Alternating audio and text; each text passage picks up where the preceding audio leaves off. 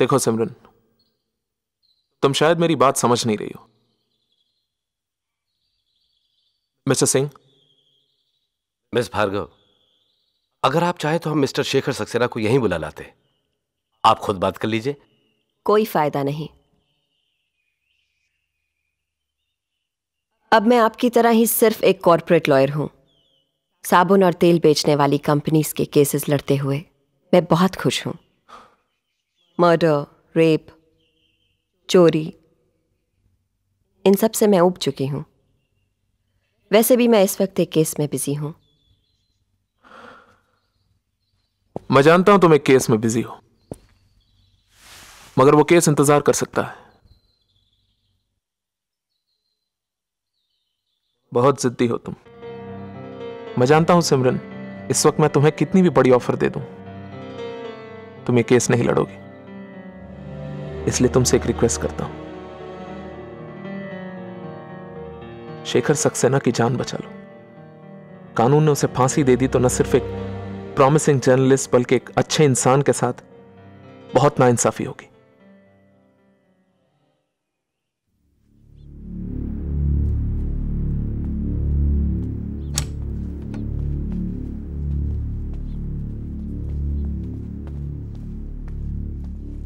आप बैठिए, मैडम। मैं से आपको खबर करता हूँ।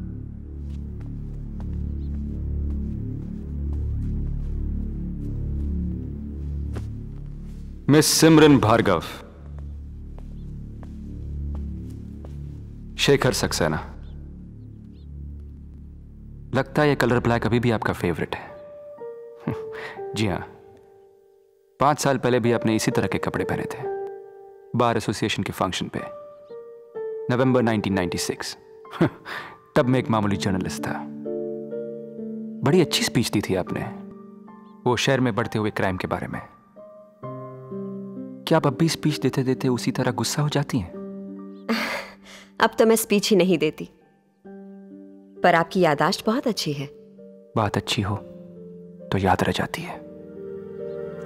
मिस सिमरन अगर मैं गलत नहीं हूँ तो आपने उस दिन अपनी स्पीच में यह भी कहा था कि आपको फूल बहुत पसंद है। क्योंकि खिलते हुए फूलों को देख के इंसान खुद पूरी तरह खिल जाता है। सारे दुख, सारी तकलीफों के बावजूद अपनी मंजिल तक पहुँचने की उसकी तमन्ना दुगनी हो जाती है। यही कहा था ना आपने? हाँ कहा तो था। उस वक्त मैं सिर्फ़ किताबी बातें किया करती थी। ज़िंदगी ने शायद तब तक कुछ सिखाया ही नहीं था मुझे। पर अब मैं जान गई हूँ फूल कितने भी खूबसूरत हों उन्हें मुरझाना ही पड़ता है। पर मुरझाने से पहले वो अपनी खुशबू दूसरों को दे जाते हैं। आप ही सोचिए मिस भार्गव कि अगर मुरझा जाने के डर से फूल खिलना बंद कर देते तो शायद दुनिया इतनी खूबसूरत ना होती। आप कहना क्या चाहते हैं?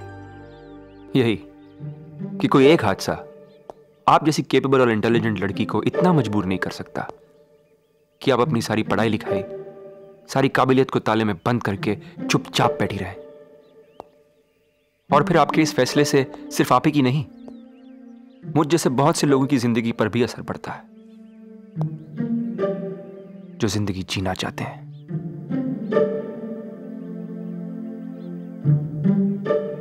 मैंने अपनी बीवी को नहीं मारा, मिस सिमरन। पर मैंने आपसे कब पूछा? आप केस लड़ती तब तो पूछती। शायद नहीं।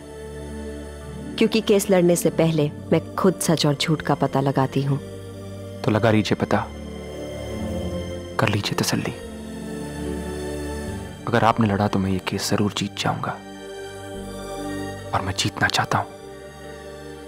क्योंकि मैं जीना चाहता हूँ।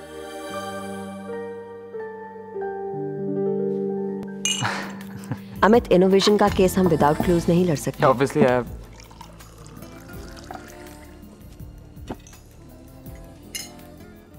हम जिन्हें ढूंढते फिरते हैं शहर की गलियों में वो बैठे हैं मेरे अपने ही घर के दरवाजे पे। मैं बैठ सकता हूँ? आप जो चाहे कर सकते हैं।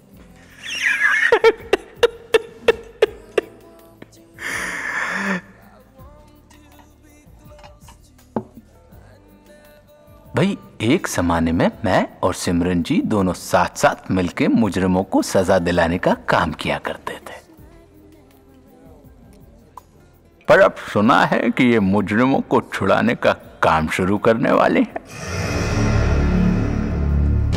मैंने सुना है कि आप शेखर सक्सेना का केस अपने हाथ में लेने वाली हैं। गलत। मेरी मानिए तो इस गलत को सही में तब्दील कर ही डाली है भाई, खेल का नशा तो तभी चढ़ता है जब सामने वाला खिलाड़ी पुराना हो। और असली खेल वही है जिसमें आखिर तक पता ना चले कि जीत किसकी होगी। उस अजीत के बारे में सुना आपने? अरे वही, जिसे मैंने और आपने मिलकर सजा दिलवाई थी। सुना है कि कल रात साले ने लॉकअप में फांसी लगा ली खुद को। वैसे अच्छा ही हुआ। घिसट घिसट के कैदियों की तरह मरने से तो बेहतर है कि एक ही झटके में खत्म कर ले साला। चार साल पहले अजीत के केस में मैं सरकारी वकील थी। इंस्पेक्टर लोखंडे की चार्जशीट पे भरोसा करके। पूरी ईमानदारी से केस लड़ा था मैंने। अजीत की माँ चीख चीख कर मुझसे कहती रही कि उसका बेटा बेगुनाह है। पर मैंने उसकी बजाय लोखंडे के लाए हुए गवाहों पे ज़्यादा विश्वास किया और और अजीत को उम्र कैद की सजा हो गई। बाद में मुझे पता चला कि लोखंडे ने अपने किसी छोटे मोटे मतलब को पूरा करने के लिए यह सब किया था। अजीत की बेगुनाही के सबूत थे उसके पास, पर उसने मुझसे उनका ज़िक्र तक नहीं किया।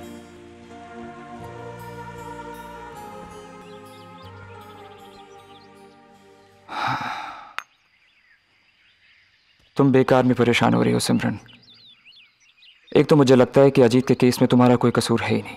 अगर है भी तो ये दाग शेखर सक्सेना का केस लड़ने से कैसे मिट सकता है?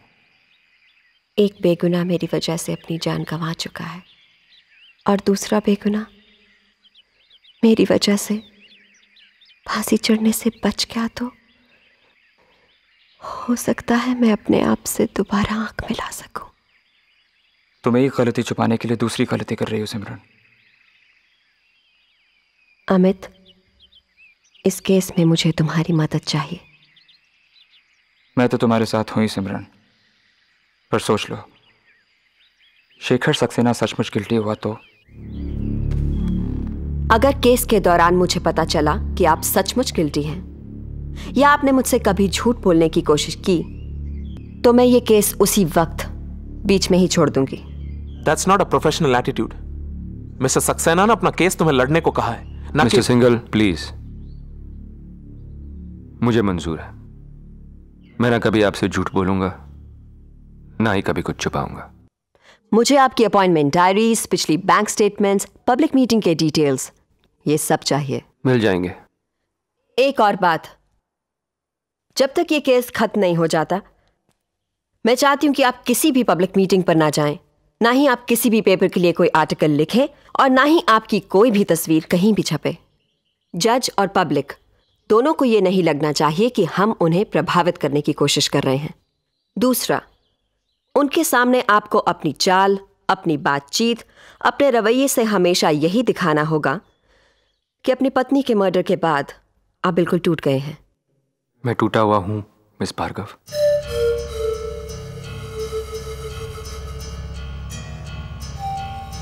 एक बात मैं आपसे भी कहना चाहती हूँ, मिस्टर सिंघल, कि आप या आपकी कंपनी का कोई भी वकील मुझे अपनी मदद के लिए नहीं चाहिए। मैं ये केस अकेले लड़ूँगी और जो भी मदद करनी होगी, अमित करेगा। मैं इस केस को एक आम केस की शक्ल देना चाहती हूँ। ओके। आप जैसा कहोगी, वैसा ही होगा।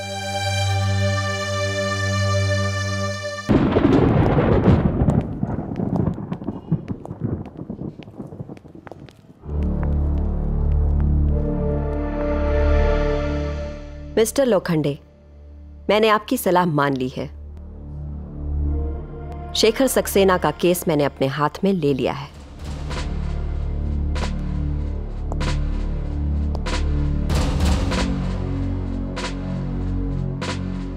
चलो। अच्छा है।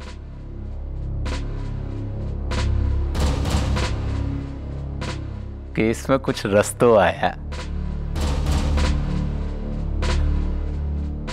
कही मैडम। मैं आपके किस काम आ सकता हूँ? काम तो आप किसी के क्या आएँगे मिस्टर लोखंडे? मैं तो सिर्फ़ इतना कहने आई हूँ कि आपने जो अजीत के साथ किया था वो गंदी नाली का कीड़ा था वो अजीत। अच्छा हुआ साले ने खुदकुशी कर ली। वरना ज़िंदगी भर एड़ियाँ रगड़ता हुआ रह जाता। पर हाँ आपका ये जो नया क्लाइंट है ना? ये थोड़ा सा पढ़ा लिखा है, समझदार है। समझाइए उसे कि हमसे पंगा ना ले। सीधे सीधे अपना जुर्म कबूल कर ले। हो सकता है कि कानून थोड़ी बहुत रियायत उसके साथ कर दे। कानून के बारे में मैं तुमसे ज़्यादा जानती हूँ, लोखंडे। एक बात अच्छी तरह से समझ लो। अगर तुमने जानबूझकर ऐसा कोई सबूत छुपाने की कोशिश की, जिससे शेखर सक्सेना बेगुनाह साबित हो सकता है तो अंडर सेक्शन थ्री बस बस बस बस बस बस।